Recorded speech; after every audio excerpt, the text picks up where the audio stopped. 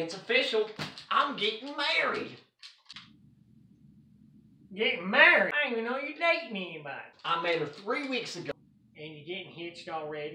I know what you're thinking, but she's real. She sends me nudies and never asks me to go to one of those weird websites neither. I'm in love. Sends you nudie pics? So you ain't met her yet? She ain't no guy neither. She could be a psycho.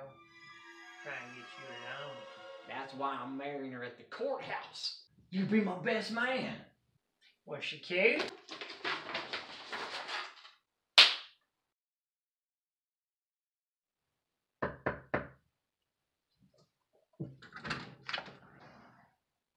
Why, hello. Welcome to the party. Are those flowers for me?